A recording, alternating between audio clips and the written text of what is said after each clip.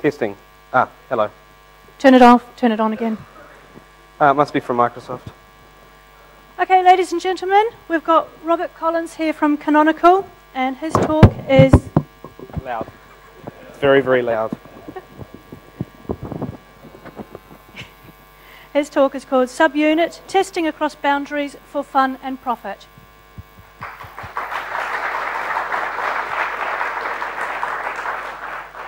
Hi, oh, thanks for coming along. Um, the goal I've got here is to teach you enough about subunit that you can choose when you might want to use it, how to use it, and you'll know enough to, to do that if you want to. If I find that anyone here comes along, gives me some patches and helps out in the project later, that's an extra bonus. But you knowing how to use it will just be fantastic. One of the things that I've I guess the, the topic caused a bit of confusion. This isn't really about binding stuff. This is about the boundaries that you need to cross when you are writing stuff to analyze tests, to work with tests.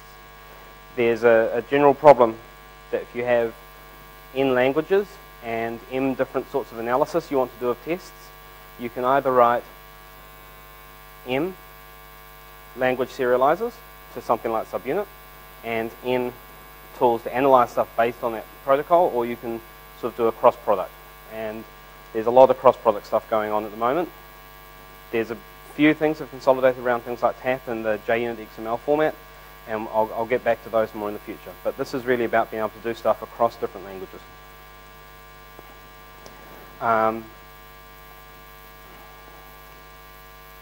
one of the things that is really, really important for me is being able to sort of get the whole thing working really smooth. So I have a fast workflow. When I do a test, I get the error, I get the result, I analyze it, I jump to the source file. I want to be able to do that in a fast iterative loop. And you can do that really, really nicely within Python, but you can't do it really nicely from C to Python. Whenever I'm writing um, code in one language and my tool chain is in another, that's where it really starts to frustrate me. Frustrate me. So a bunch of the things I've ended up doing with Subunit over the last few years have been about this sort of integration. Um, one of the things that I've been doing for a while in this, in this area is small tools. So trying to keep the Unix philosophy of a little tool that does one thing well, and then another one that you can bolt on, another one that you can bolt on. And it's, we're starting to get somewhere in this. Um, so, this is where uh, my PDF output decided it couldn't print out the speaker's notes. Um, so there's going to be a couple of slides of ad hoc here. So this is this is a little bit of bling to sort of kickstart the whole thing off. This is a, a project called Tribunal, which um, ah the author's here. Love open source. And Tribunal is a GUI viewer for Python test results. So it's utterly useless unless you're writing Python. This screenshot, though, is a screenshot of a subunit stream that's been imported into Tribunal by a patch Martin Pool has put forward for this. He's, he's still working on it. It's not in trunk or anything yet, but it can show any language in a GUI um, and just pop it up. You can save it to disk so you can look at that stream at an arbitrary time. You don't need to be running an IDE like Eclipse or Emacs or Vim or anything like that to keep track of the state. I mean, one of the big values to me of IDEs like that is that they do. They keep track of the last make output in a buffer that you can get back to. But if you turn your computer off or you reboot or whatever, it's all gone. You've got to start by running your test suite over again.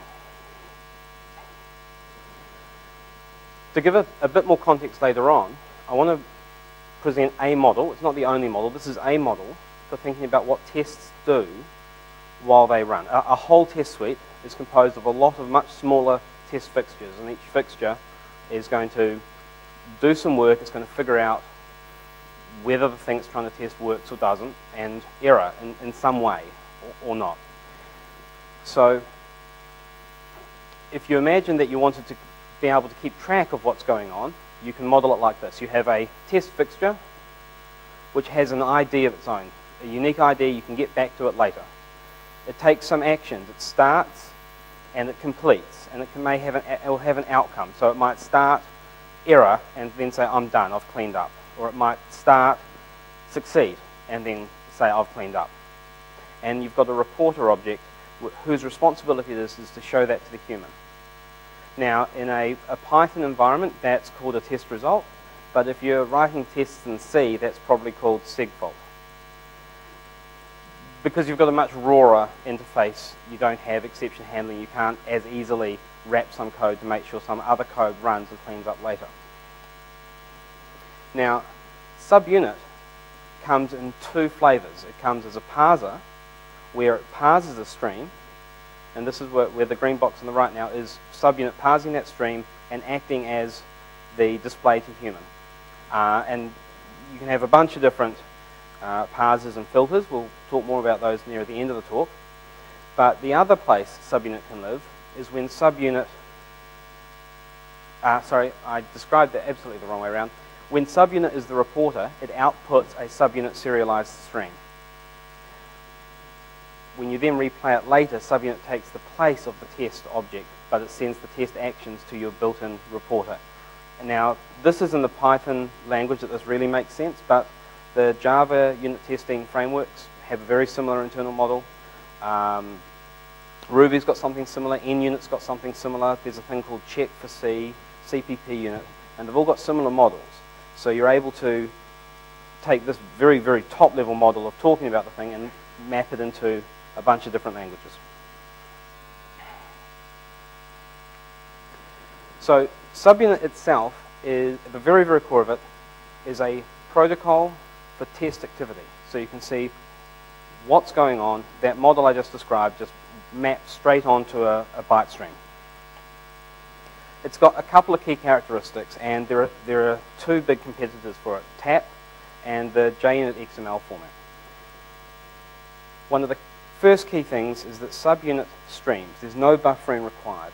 You, in, in an XML format, in the existing XML formats, you have to run every single test. If that takes 20 minutes or two or four hours, you have to complete that entire process before you can output your result object. So if you want incremental results and you want to find out what's passed or failed before the thing completes, you're out of luck.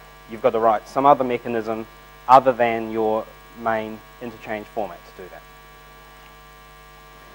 The other really significant format around this thing called TAP has a very, very, very lean structure. It's very, very nice in, in some regards, but it's really not suitable if you want to put complex data uh, it's great if you're writing Perl or C, where you've really got only success or crash. But if you've got exceptions and you have the ability to gather log files, the ability to get working files off disks, uh, if you had some database state when you, when you crash and you can say, here are the tables, here are the open transactions, and analyze those more sensibly, then you want some way of passing that over. And that's where TAP, while it is very, very good for the language it was designed for, doesn't scale out to other languages particularly well. Subunits protocol is human debuggable, but it's not designed to be a plain text format. So it doesn't round trip perfectly if you copy and paste it, you do line ending manglings at them. Now, we've got some work going on in the project to see if we can fix that, but it doesn't really matter because most of the time you're piping this into a, a pipe or into a file on disk or an attachment to an email, and solving 8-bit compatibility and traversing stuff around is it's been done for a long time. Um, it's also reasonably extensible through two mechanisms. There's a tagging mechanism. So you can tag a whole stream, and the tags apply to every test that is then output in the rest of the stream, or you can apply a tag to a single test. And the tags are, I like them as a way of having data that doesn't affect the protocol, but that people want to use in the things the protocol represents. So you can put a tag in to say I ran this test on the 13th of January on an i386 machine with 2 gig of RAM and then you can come back to those tags and do sort of Web2 aggregation and filtering based on them.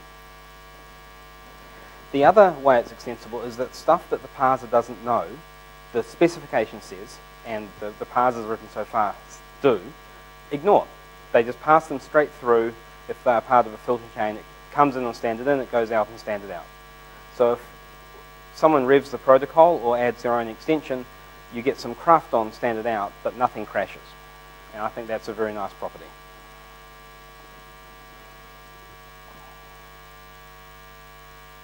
Right. So what languages is this available for you right now? In C, the Samba project has this thing called libtorture. Um, and libtorture these days outputs subunit. And the Samba project is doing a bit more and a bit more every time I talk to primarily Jelmer um, about it. But I believe they're at the point now where they can use most of the subunit filters to do analysis, even if uh, the bulk of the project isn't aware of them. The check project, which is a C um, unit test project, it, it's, it's, fairly clever. It does a fork before every test, so if a test crashes, the overall test runner doesn't, and it can then, that means it can do stuff before and after each test at a performance cost. But the check project, if you set CK output subunit as an environment variable, then it'll output subunit. Or you can compile it and in your main runner you can set the, the output type you want. It's in the current release and that's been out for I think six months or more now. The patch was there for a long time before but they, they had forgotten how to release software. No, I'm, I'm, I'm serious. They had a 35 step process to do a single release and no one had the time to do it. So I said, look, you've had this patch for a while. What's the, what's the delay? Ah, releasing. I ended up uh, doing a release and automating much of that for the project. Um, C++, the CPP unit has an extensible reporter um, module. So subunit just ships a libcpp unit subunit. Link that in. When you initialize your, your test framework, you tell it what reporters you want, away you go. Um, I think there's demonstration code for that in the README. Shell unit. Uh, not the SHA-Unit 2 that Google recently released, but actual shUnit, which has been on SourceForge for about a decade. There's an extension point in that, and I've hooked subunit into that. It's in the subunit distribution. Uh, PyUnit. This is the only primary, like, fully capable parser that I know of for, um, well, there's a small, there's a small Perl one, um, but the sort of most capable one and the one that's had the most work done to it is in the Python world. Because I primarily work in Python, it's where I reach to as my quick tool for doing high-level stuff. Uh, Perl, Jelmer, is there a Perl emitter? I've been meaning to ask you this. Is there a Perl outputter? There is, okay. So you've got a couple of options then for Perl. You've got tap to subunit, so you can take any Perl test suite that's running tap, output the tap output through tap to subunit, which is a subunit filter, and you'll get subunit out the other side. And then you can throw that into any of the other subunit filters. But there's apparently also a native set of bindings for outputting subunit directly from Perl. Um, and JUnit XML isn't really a language binding here, but it's a filter, subunit to JUnit XML, that takes subunit in and outputs a reasonably bog standard JUnit XML test file. And that's really, really useful for integration. The Drizzle language have um, a Drizzle questions. Yep, go for it.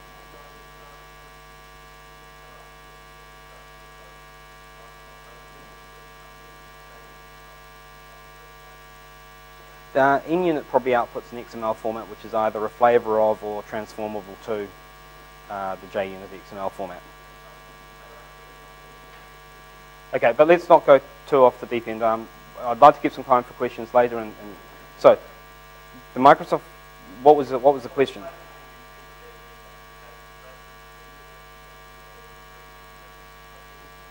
Um, so the, the question then is how, if I'm taking a test suite from Microsoft that's in an XML format, how do I get that through into a subunit stream? I would write a transformer that I'd like. I'd write a small bit of software that parses that XML and outputs a subunit stream, and then you could put that into your pipeline however you want. Yep. So the one that I'm referencing here does the other other transform. It takes subunit and outputs XML. So if you've got a continuous integration server that wants an XML file on disk, this gives you that, without you having to have anything in your personal application aware that there's XML involved at all. Um, right, so a little bit more detail on the design features. I wanted to make this really, really easy for other people to implement and to take and, and run with. So this part, the stream itself, you don't need to go and look far down the stream to figure out what's going on. It's, line-based. You read a line, you process it. You can take two streams, and you can just combine them one after another, and you'll get a valid subunit stream. Uh, if one of the streams is incomplete because the test has started but not completed, the parser will error about that at the end of the, the whole lot. It won't suddenly barf and throw an exception out back into your code. You can and uh, you need to run some object level code, so like a semantic analysis, but you can take two streams that are running concurrently and put one test from one and one test from the next and one test from the other and one test, and whatever sort of interleaving you want. And that's very, very useful if you're doing parallelization of your test suite. So if you take the current sort of auto test facilities for parallelization, you just get bang, everything on standard out when things go wrong. And subunit is a great way to organize that. One of the things I, I want to do, or to have someone else do for me, please, is to get an auto test to uh, subunit converter, and then we can use that existing good solution for combining these things to, to process that. Um, the pass-through feature is there so that if you have something that the, the parser doesn't recognize, for example, a debugger prompt, you can just have the, the parser sitting on the socket and reading the protocol, forwarding what it sees to your console, and you can actually drop into a debugger session and have that work.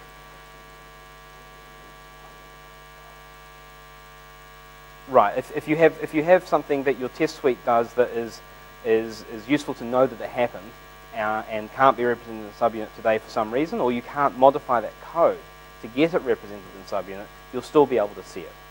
So it, it means that you can add subunit in a very graceful way to a, to a system. Um, it reports activity, now as opposed to reporting the outcomes of things.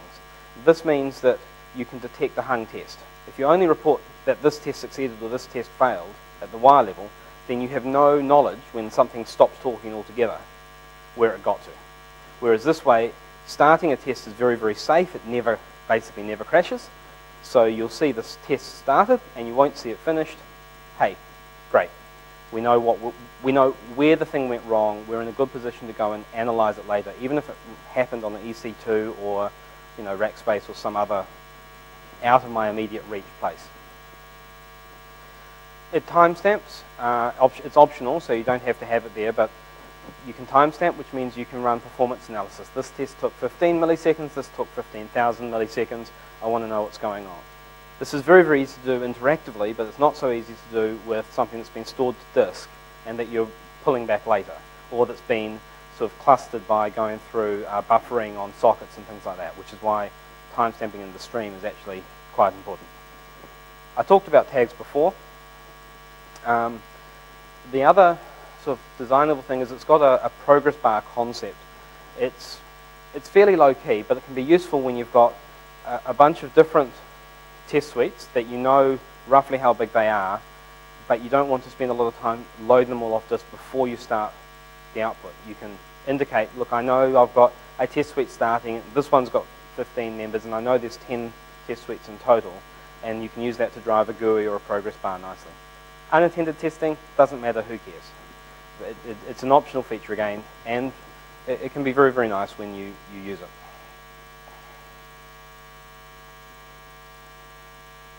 So some of the motivations for subunits um, are more than just the ability to talk about stuff between different languages. One of the nice things you can do with it is you can work around bugs in other people's software. You can also work around bugs in your own software. One of the most obvious of these bugs is global state. If you have something in global state and you, I don't know, you've got a, a factory object and the factory object has a bug, you can break your entire test suite by triggering that bug. What you can do with subunit is fork around that test. You get the feedback back to your outer level language. Again, if you've got a part, you could, if you're using this just as a communication protocol, all you need is parser for that language and you're away laughing and resume, and you're not affected by global state changes. There's a decorator in Python, which uh, the next slide shows you, which does this automatically for every single test.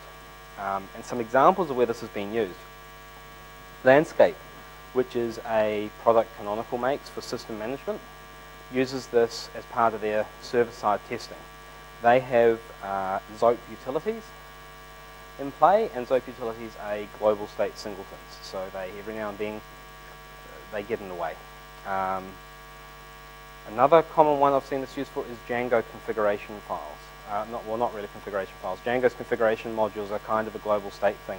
They have to turn up at a particular place, and you have to jump through a bunch of hoops to get rid of them. So again, using this Python decorator, people have said, okay, that's I don't want to know about that for most of my tests, and it just gets out of their way.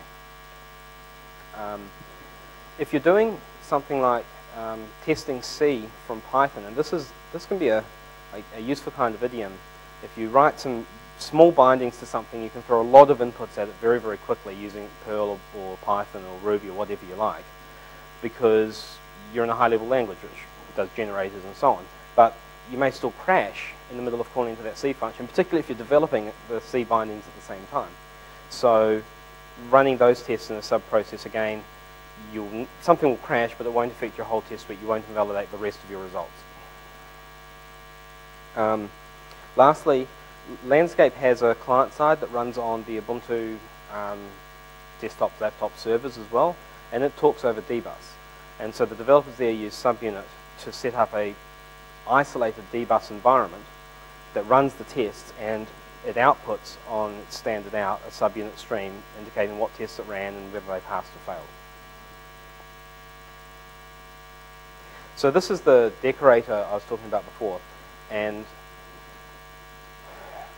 essentially here it just says we've got normal test suite function which is a, an idiom in Python. Actually I should ask, how many here don't know Python or, or haven't written tests in Python? Okay, a fair number. I'll, I'll, I'll take a short segue to describe what's going on here. There's an idiom in Python to get a test suite object, which is a container for a lot of tests. And if you write a method called test suite, things like the trial test runner will pick that up and call it to get back a test suite, rather than introspecting and hoping that they get it right. Um, so this function just says, you know, create a test suite to return from that, add to it from the subunit library the isolated test suite uh, object, and suite 1 through suite n are simply suites that you get from elsewhere by using the existing loader facilities, which I, I haven't shown in this example for brevity. Um,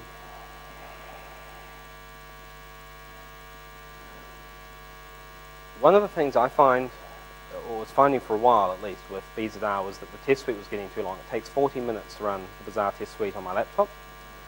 And we wanted to, we, we are working on making the test suite faster, but you still don't want to be waiting for that long every time you need to run the test suite. So we've added two features to Bazaar using subunit.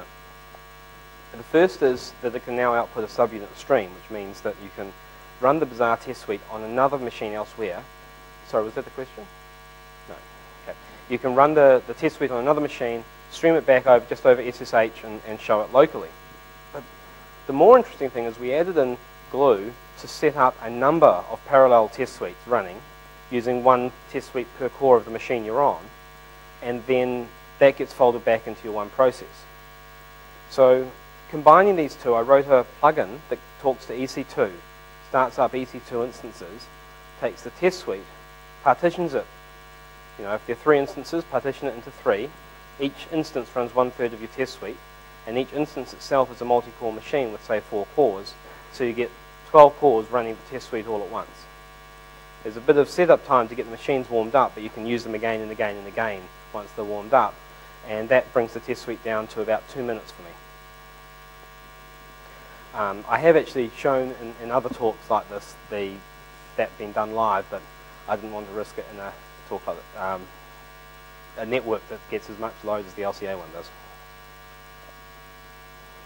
Um, right, so coming back to this concept of integration, I was saying before that you don't want to be writing m times n analysis tools. You want to write m serializers and n analysis tools, so m plus n, a much better scaling factor. Um,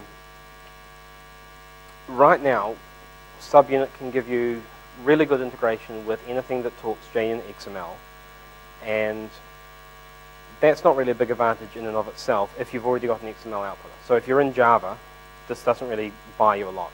If you're in um, Perl or Python or any of the other languages we already support, it actually does buy you quite a bit. because the continuous integration tools that are around are very, very, very nice. They are really good at keeping track of tests, of what ones have been failing in the past, of making sure that every commit has a test run run on it, and of farming that out to machines, to VMs. You can bring up VMware instances or run stuff on EC2. And there's a good dozen or more CI tools around that are open source and, and well supported. Uh, well, EC2 is the Eucalyptus Computing Cloud. Sorry, the, the, Eucalyptus is the open source implementation of EC2 and it somehow wended its way into my brain. Amazon has a um, cloud computing facility. Sorry? Yeah, the, the EC2 is the Elastic Computing Cloud. It's almost recursive. Um, so, Drizzle, as a case point, were talking to me about some BZR stuff one day, and they said, look, come and look at our test server, and they have this Hudson instance, which is this big Java thing, and it can give you a lot of introspection and value information about your tests.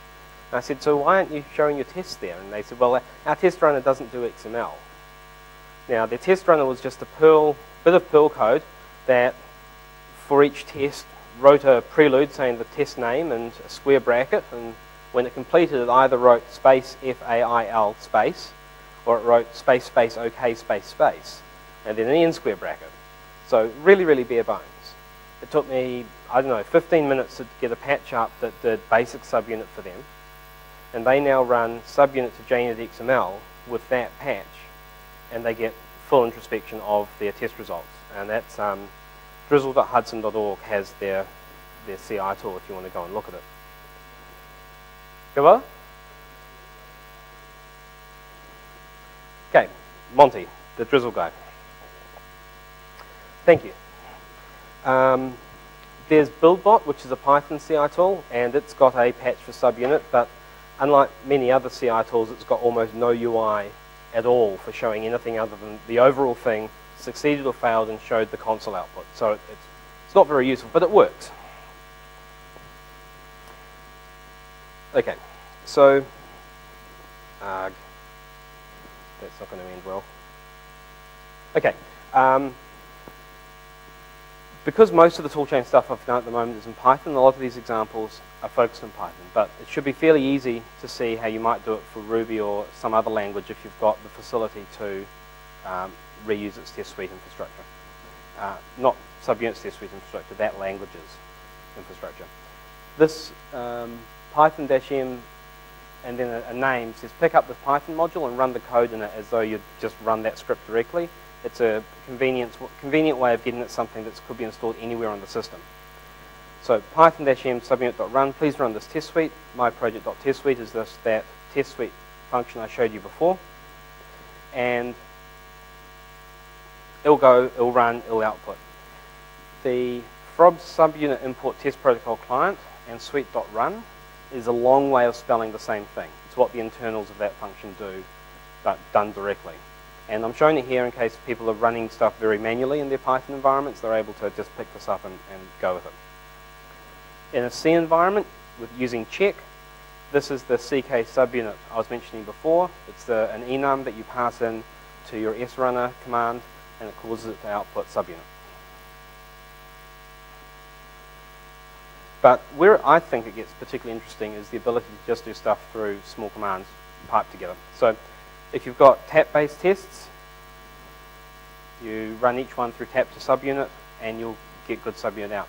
Now the reason you want to run each one through subunit is tap is a format when a stream stops, it can error out unexpectedly. You can't validly just combine stream after stream after stream. You've got to process each one on its own. So you'd want to, you probably have a for loop if you're using tap at the moment, and you, inside that for loop you'd want to invoke tap to subunit. Um, this is where we start getting onto all the, the tools that have been written to, to do interesting things. Subunit Notify is new in 005. Um, Jelmer threw it at me yesterday or the day before, and it throws up a notification bubble on your desktop when the stream completes. So as an example, if you have a test suite that takes half an hour to run and you regularly go and do something else, even on the same machine, you pop into email, you go and look at Twitter, this will give you a visual notification when it's completed, even if your console window is minimized. Subunit stats just gives you the statistics for a stream. So 400 tests, 200 were passing, 150 were skipped, and 50 failed. Uh, that's not a test bed I'd want to be working with, by the way. Uh, it also tells you what tags were seen, and you know, if we think of other things to put in there, we'll, we'll put them in there. Subunit to PyUnit is terribly named, and I'm probably going to add an alias and eventually deprecate this name because it's just too sort of misleading. What it does is it shows you what test you ran. It lists, each, lists every single test and its success, and it shows you the backtrace and the status information of tests that failed. So it's, it's actually what you want to do most of the time, even if you're not using Python. And that's why it's misleading, having the word PyUnit in there. Terrible. Subunit ls lists the test IDs that a particular stream contains. This is part of my regular workflow for figuring out what's failed, and running just those tests and coming back to it. Um, I'll come back to that later, but subunit ls is, at a command line level, your sort of key introspection to pick out individual test names.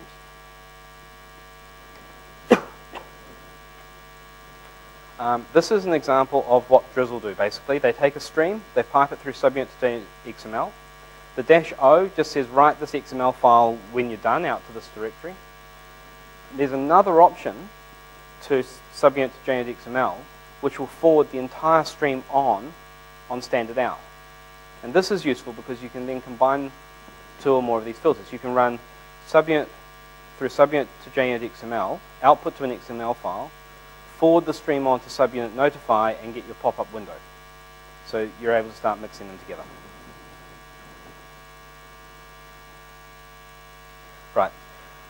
I want to talk a little bit more about some of the things that you can start building up uh, on, on top of having a, a consistent object model. This is a, a, sample of subunit protocol itself. It's, it's not particularly pretty, um, but it's meant to be able to be looked at by, the, by a human, not adored by a human. Um, key features is that there are two outputs for every test, the test beginning and the test completing. So the first one there is the test, test link tree command or test link tree, and then it failed. The square brackets that you see on the end of the second line and the beginning of the last line are just the boundaries for the sort of opaque data in the middle. Subunit doesn't care what's in there. Um, as long as it doesn't have carriage return, square bracket carriage return, it's fair game, it keeps going. Um, if you timestamp it, then you start adding ISO timestamps into the stream, and you just add them as often as you want. They set the current time for the parser, so it, it, it considers itself a time driver, if you like, and it can jump forward or backwards, because if you're concatenating two streams, or you're combining two streams running on different machines, they may have different times, different clocks, so you reset it before any actions related to one test, and then you switch to another one, reset the time again. Okay, this is um, this is Python parsing subunit. So very small amount of code needed. I've got 10 minutes, so I'm going to have to wrap it up. Um, essentially, you grab a class from within subunit, you grab a stream like sys.standardin, you grab a result object. Remember the test and reporter separation I talked about right at the beginning? The result object is your reporter, and that's where you can write your custom code. It's kind of a SAX-like model you get called into on your reporter object, and you can do whatever you like there. Um, these are some workflow examples. Self-test, run my self-test. Subunit filter is able to filter subunit streams. It can kick out passing tests, it can kick out failing tests, it can look at tags, it can look at regex patterns within the assertions. So you can say, I want to ignore everything that's a value error. I know what's going on there. I want to see if there are any other tests that are going to surprise me. Um, the t.log fa um, t fail.log there is just keeping a copy around for later. And as I said, subunit to PyUnit shows it. It's the, the workhorse. You can loop on that and keep running that until you've got no failures at all. And the way you do that is you read the old log, the old subunit stream through subunit ls to get a list of the test IDs, that are failing.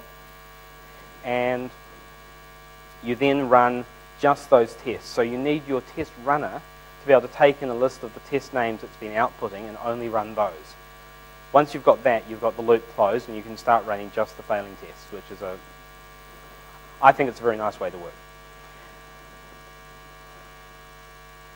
And I'm going backwards. That's not the evolution I was looking for. This is kind of a, a really terrible slide, and I'm sorry to inflict it on you.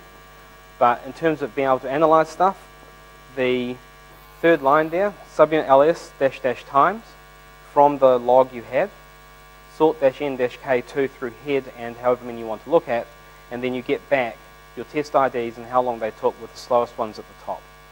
So if you've got a slow test suite and you're not sure where it's slow, very, very, very simple way of getting that out. And um, that's, you know, the thing that I really like is that I can do that with any language without having to reinvent this. Um, those numbers are in seconds, and those tests are, well, no,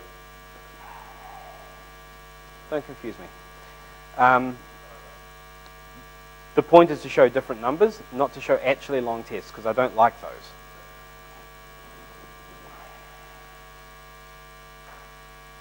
Oh, this, uh, in my Twitter feed is a URL linking to this talk, so if you're taking notes based on what's up on the screen, you can just grab it off Google Docs later. You don't need to sign in or anything. Um, aggregating stuff, so once you've got these streams, and I've talked about how you can concatenate or, or interlink them, you probably want to be able to sort them out later. So tagging, really, really useful. Um, the tags command there is one that I use to tag stuff on an architecture and the date.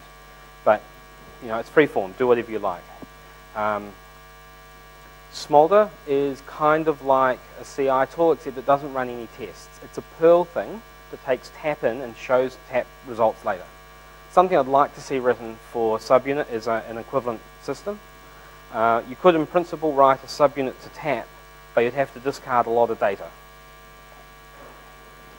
Um, I mentioned Tribunal earlier, and I started over my holidays recently a project called Test Repository, which takes this sort of very manual workflow I've described earlier with sort of long command lines to do the same thing and, and to iterate on it. And it's a little database that stores a subunit stream on disk and it knows which tests failed and it knows what you want to do is you want to keep unioning them together and get back out the IDs. So it's, it's just automation around this workflow. And this is an example of test repository. I, I run my tests. Uh, I've got a makefile that has the right glue, just subunit output uh, through testr load.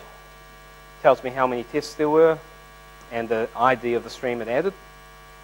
But I want to see some failing tests, so I wrote some earlier. I unshelve them. I run it again.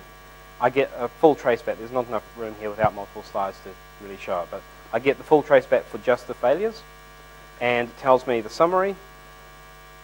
But that's not really remarkable. What's remarkable is I can now go testr failing, and it comes back and shows me those tracebacks and the failing tests again without having to run the tests in a repeated loop.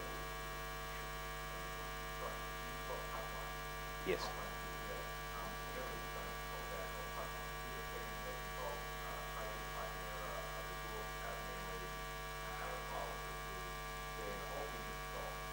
Pipe fail. Set pipe fail. Is it? I've seen POSIX stuff for this as well. Okay, so uh, is that one or zero? Yeah, oh, sorry. Um, yes, well, we're, we are on to question time because the next slide was questions. Um, the question Tridge raises, what about pipelines? Um, if you've got errors, segfaults, Python blowing its guts out, anything goes on in the middle of a pipeline, later entries in the pipe don't see the problem. And there are two things. The first thing is that if something interrupts, so the first thing is you should set pipe fail or the equivalent for your POSIX pipe on. Yep. Um, the second thing is that generally speaking, things don't blow out at the beginning of a test, they blow out in the test code itself. usually enough for the framework to get up and going is okay.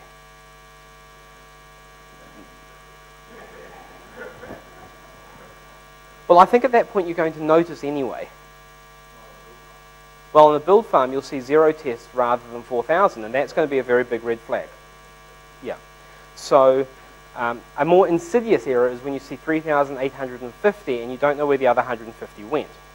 And, and well, subunit should be able to be helping you with that reasonably well because anything that's cut off halfway through a test, subunit will report an error on. Um, I, would, I would like to see if there are other questions here and to actually debug that with you during this week. Are there any other questions? Is the sky blue? Yeah, oh, great. Oh, yeah. Is it multi-platform? I don't know whether you said that or not. Is it, Does it work Windows, OS X? uh, is it cross-platform? Yeah. Yes, it's, um, so Drizzle, does Drizzle have a Windows build, Monty? Okay, I don't know about Windows, but it's in active use on Solaris, Mac, um, Mac OS 10, Linux. Uh, I'm not aware of any platform-specific code that should prevent it working on Windows, and I'd be, if someone wants to give me remote access to a Windows machine, I can help fix it. Otherwise, I'll, I'll take any patch with no questions asked that fixes stuff for Windows. Because I don't know what questions to ask. Uh, I recall about nine months a year ago there was some discussion in the Perl community on um, an improved TAP protocol. Is there any relationship between that work, which I, to be honest, perfectly honest, didn't pay a lot of attention to, and this work? Um, well, subunit, subunit was created, uh, I don't know, about five years ago on a CodeCon where Conrad Parker and I sat down and said, you know what would be really nice? To solve some of these isolation problems, and we, we came up with this protocol, which has evolved very cautiously since then. Um, I've spoken to some Perl people about the improved tap and the things they're doing, but I think the retrofitting stuff onto it, it, it's not really a good fit. The basis under which you write a tap parser and, and how you associate what's going on to the actual error that occurs is much, much less structured, which means it's much harder to process in a machine manner. It's really made to be read by a human looking straight at it. Um, certainly that I haven't been, I haven't said you should do it this way to them, but every now and then we, yeah.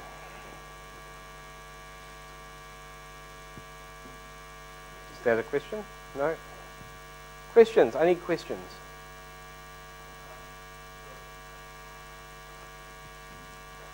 I need the exercise. I need to actually hold all this. Um, so you've shown uh, a subunit output and stuff you can do with subunit output and, and the, some of the test repository stuff. Um, what other work is going on in, well, it seems to me that it's mostly useful if as many testing tools as possible can output subunit output.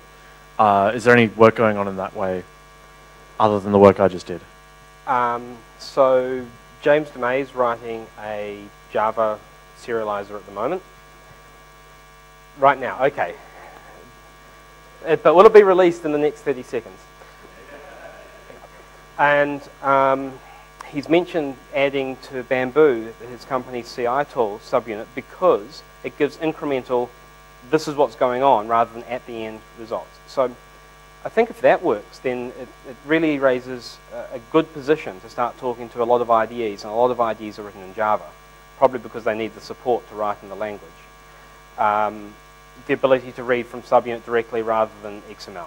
So that said, I'm actually very comfortable with the idea of using subunit to get accurate reporting of where things break and incremental progress notifications and UI notifications and to end up writing XML because it's not a bad lingua franca for once you have successfully run the test. It's just terrible for while you're running the tests.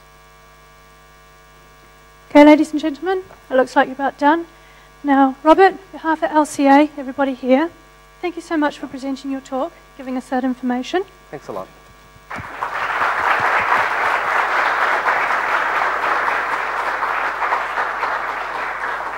Now it's afternoon tea time, I understand. Go and stretch your legs, well, except for you. Go and get some fresh air, everybody.